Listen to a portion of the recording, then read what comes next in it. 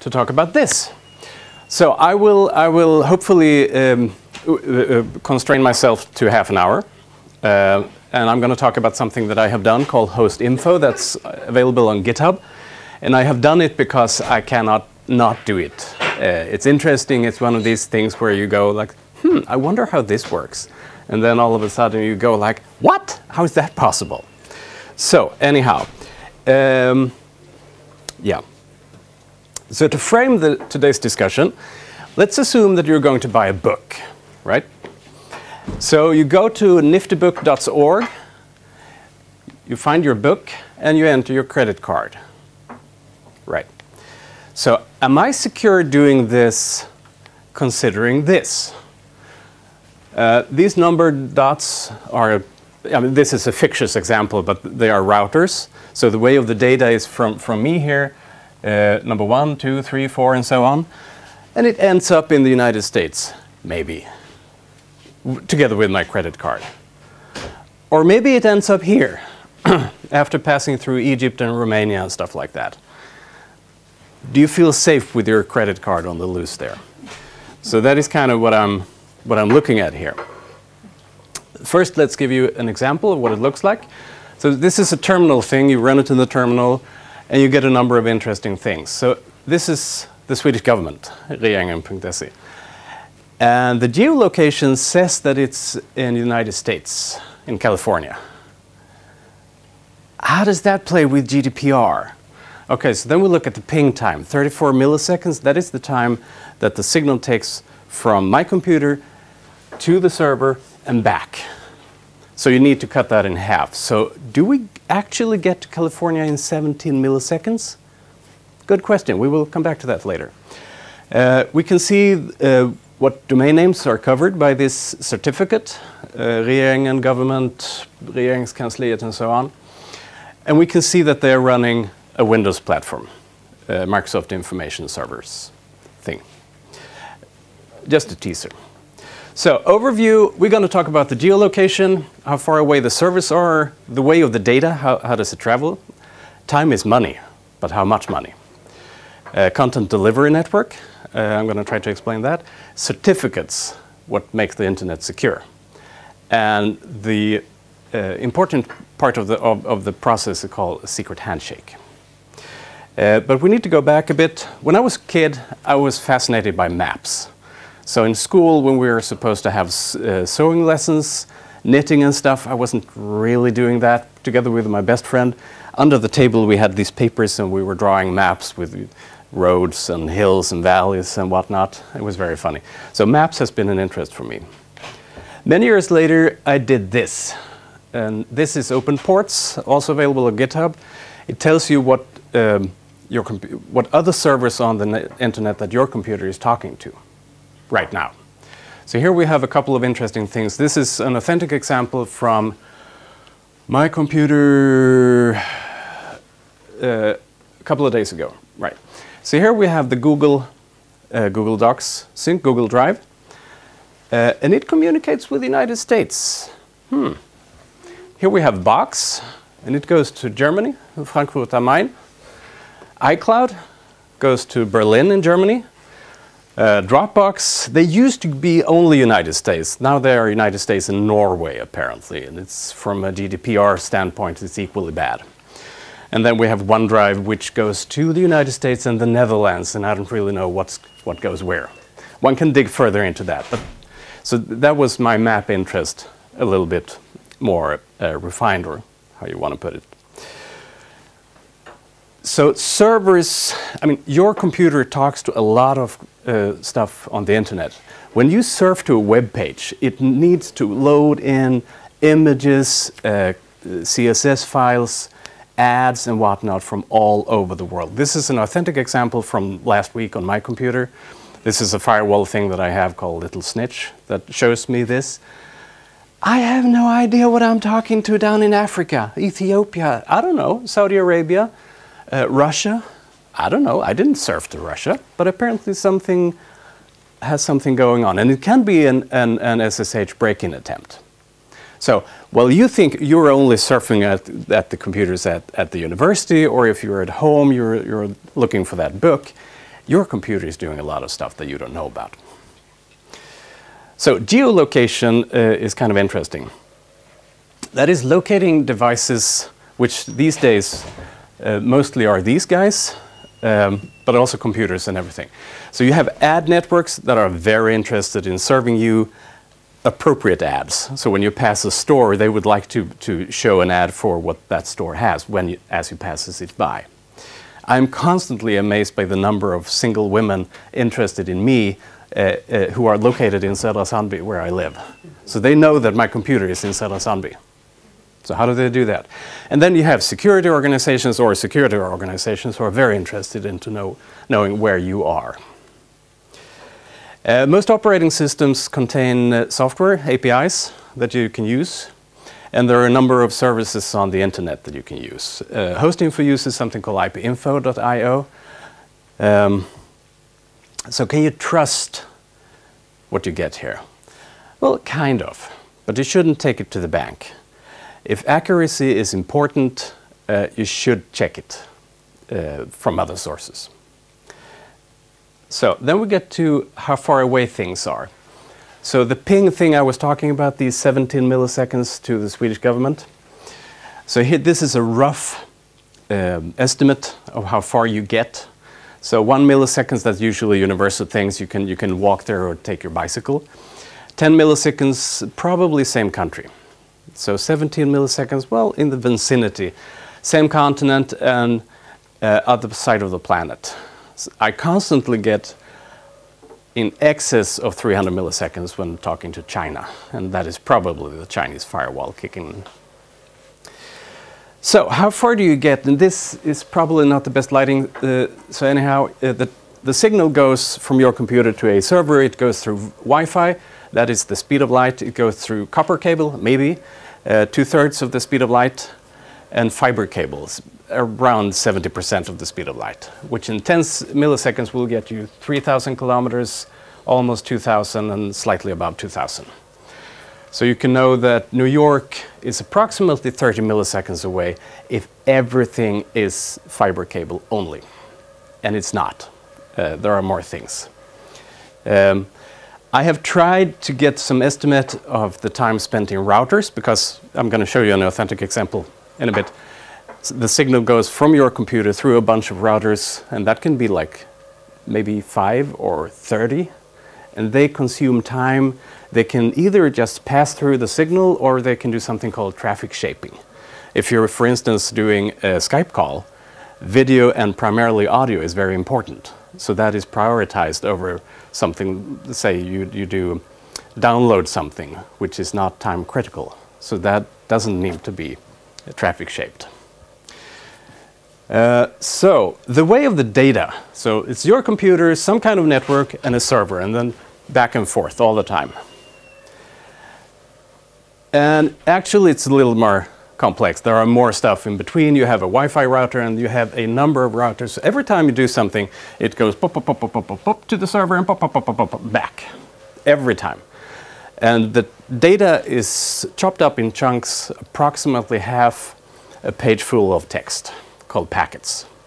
So uh, a, a, large transfer can be several packets, which of course need to be uh, sent in order and uh, arrive in order and everything. And all of these things go back and forth. So let's look at an authentic example. Oops, sorry, that was too quick. This is from my machine to a university in New Zealand, other side of the planet. So here I, uh, we see that there are 24 routers in between. So every time I surf to that web server, it needs to go through 24 routers and back. Every single packet, back and forth. So the, these first are in Sweden, then it crosses the Atlantic and we are in the United States. I looked up, it's actually there and you can see the, this is probably where we get across the United States through a long cable and here we are in New Zealand. Uh, this is a pretty cool utility called MTR. Um, so, uh, so there is a, a lot of things happening from your machine to the server, and time is money.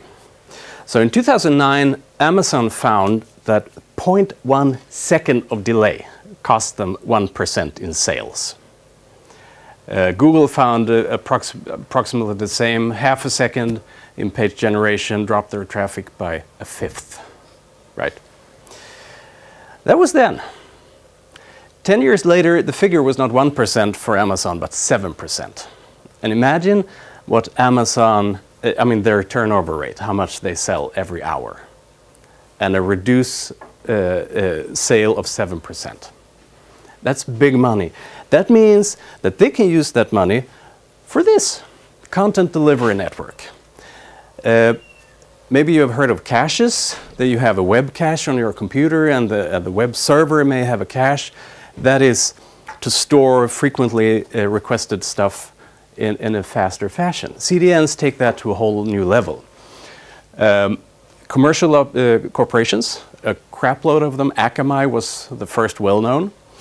Uh, they deliver data uh, and video and applications to customers with a low latency. They can also absorb an, a network attack uh, so that the service keep functioning. Uh, so they have a point of presence around the planet, data centers, physical data centers around the planet where they, they serve stuff from. And they collaborate with DNS servers to fool your computer. So when I'm sitting here in Lund and, and I'm surfing to um, Macworld in San Francisco, I'm not surfing to Macworld in San Francisco, I'm surfing to a point of presence in Stockholm, which is much faster, which means Macworld pays money to somebody to serve it faster to make me more happy because time, as we saw in the previous slide, time is money. So, CDN is big business today, and it makes it hard to determine where things actually are. So I looked at the, all the big universities in, in, the United States out of curiosity, and they all use CDNs, which means that they all pay for CDNs. Uh, so Yale, for instance, appears to be located in England, Great Britain, not on the American East Coast. So, anyhow, certificates. This is where we get to, to maybe the interesting stuff. So people have been, scientists have been looking at certificates. Uh, this is this is way too small. Anyhow, uh, how do they work? So scientists have been looking at this for quite some time, and they concluded that either House Slytherin of Hogwarts or Mordor behind that. No, seriously. Uh, a digital certificate officially states that something is true, like a physical certificate. Um, they are used for websites, email, VPN, uh, and software. We recently have started to, to sign, digitally sign software here at the department because we need to, otherwise it won't run on, com on computers. They have a certain validity period and they can be revoked on a command from, from, from a central authority. It doesn't physically take away the certificate, but it says that this is no longer to be trusted.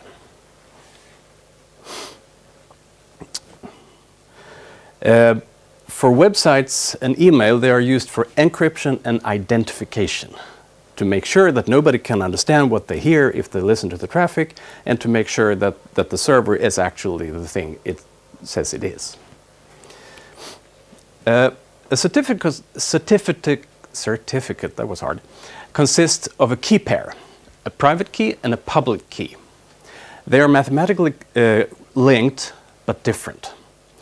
Private key um, is created when you, when you create in the process of creating a certificate, you get a private key, and then that never leaves its birthplace. The private key is super important.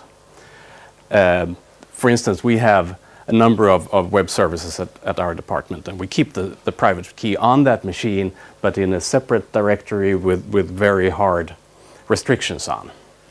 Um, the public key, on the other hand, must be distributed. And one thing that, uh, also too small to read, If you had this same setup with your car, you could lock your car with the public key and leave the key in the lock because you can lock it, but you can't unlock it. F for the unlocking, you need the private key. So, how does this work? You have a certificate. How do you know it's true? Well, they exist in chains.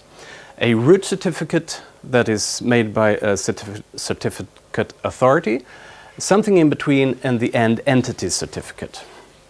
such as this. This is our Moodle server at the department, which is um, issued by DigiCert. And we have something in between so that we don't, when, when, when I create a certificate, I don't need to talk to them, but I talk to, to the intermediary.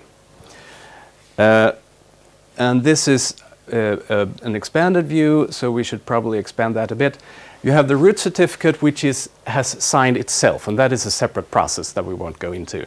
Uh, um, then that is used to sign the intermediate, and that is used to sign the end entity. And the end entity refers to the intermediate, which refers to the root certificate. So the root certificate, so this is a chain that can be checked. If, if all, all the numbers are correct, then we can trust the chain, and we implicitly trust the root certificate. I'll get, uh, come to that. So you can view it as a tree where the server provides this chain and the client verifies the same chain. So how do they do that? How are these implicitly trusted? Well, your computer and your web browser comes preloaded with a bunch of root certificates. And I can also say that root certificate authorities can be and has been revoked, no longer trusted. So all of a sudden, a certain root certificate is no longer trusted. Um, so the operating system and or the web browser, uh, and I don't know how often they do this, they check for updates to this list both uh, additions and subtractions. Uh, so that is that is kind of how it how it works. So that your computer, when you surf to Amazon or something, you don't physically have to go to Amazon and get their root certificate because you already have it in your computer. So how do you see them? Well, uh, you click on the padlock. It's located in different places, and then you can click Show Certificate, and you get this chain that I showed in the previous picture. So now we get to the secret handshake. uh, so this is an interesting process. How do we get from a situation where A and B is talking in the open and C is there listening? And then we get to a situation where A and B is still talking and C hears everything but cannot understand anything, but heard everything that was passed in between them. So how does that work? That is the secret handshake. Um, so one can say that th this is done by the TLS transport layer security thing, uh, and it uses an asymmetric uh, encryption for the handshake phase, and then during the actual transfer, when you're running on Amazon with the padlock, you're using symmetric encryption, which is much, much faster. Uh, back in the day, you had SSL. Uh, maybe you remember that that's the only reason I have this slide, SSL 2, 3, which was replaced by TLS 1, 1.0, 1.1, 1.2, and 1.3 is about to come now. And one of the things with 1.3 is they cut all the ties with previous, with legacy. Uh, and they reduce the number of steps that goes between the server and the client in the handshake process to make the timing quicker, to make Amazon more happy, because it doesn't take so long to, to establish a secure connection. So hopefully uh, TLS 1.3 will be here, I mean, in, in in a browser near you in the, in the short term. So how does it work? Well, first the clients send a hello message to the server, uh, says what kind of cryptos it, it can handle, and also send a bunch of random data that will be used later. The server responds, hello to you, sends its public certificate, cipher suite, and a server random bit of data. The client verifies the server certificate with the chain we saw before, and then it sends a pre-master secret, another bunch of uh, random data that is encrypted with a public key. And this is the important thing, because in the next step, the server decrypts the pre-master secret using the private key. And that is the thing that is never transferred between A and B, that enables the secure communication which locks out the party C from the whole thing. Session keys are generated, and they exchange some finished messages and then they go from asymmetric encryption to symmetric encryption and we are up and running. So, enough theory. Uh, time for some examples. Lund University, um, well, two registered DNSs. And this was interesting when I first saw it. It has an asterisk here, if you can't see, asterisk.lu.se and lu.se. This asterisk is not present in LTH web server. We can also see that it's running Drupal, which we knew. So here we have LTH. Well, there is no asterisk in the LTH certificate. And as of today, I don't really know. Uh, uh, the Per has been promising that they should have a certificate that should work before the end of February. That passed a couple of days ago, so I don't really know what's going on there.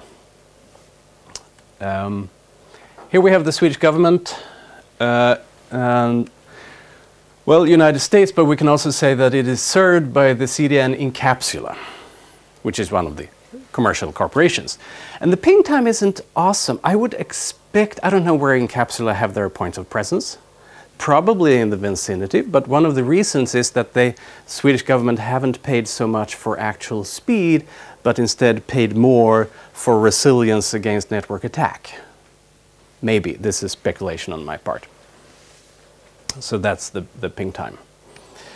And we have, like we said, the, these before. So Swedish armed forces, are they in the United States?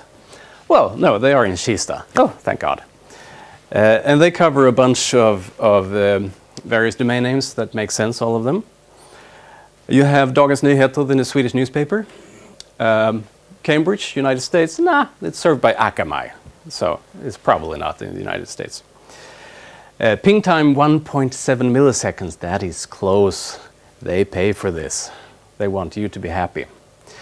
And you have a bunch of, and this is kind of interesting, a bunch of, of domain names that are covered that kind of make you, well, okay, this is probably part of the Bonnier uh, Corporation. Uh, Expressen, Dagens Nyheter, um, hmm, Nordic Tech List, Dagens Industri, well, Sydsvenskan apparently. Uh, this is kind of interesting. This is one, one of the political parties, and I did this in, in July last year. Um, United States, no, Cloudflare. Uh, so it's, it's too fast to be the United States. But here we have a crapload of domain names covered by the same certificate. And the downside, of course, is that if, if, if get, get you, whatever that is, if that should be broken or something, they revoke the certificate that makes all of these, boom, go away. None of these domains are trusted. So that's not really good. So I did this uh, again. It was the same with, with other political parties. This was just an example. Uh, the other day, the other day, is just Moderaterna and Cloudflare, which is kind of interesting. Another interesting example, H.R. Webben at the university. 219 registered domain names on the same certificate. Woo! Um, funny thing is, when I did that this, the day after, it was only two.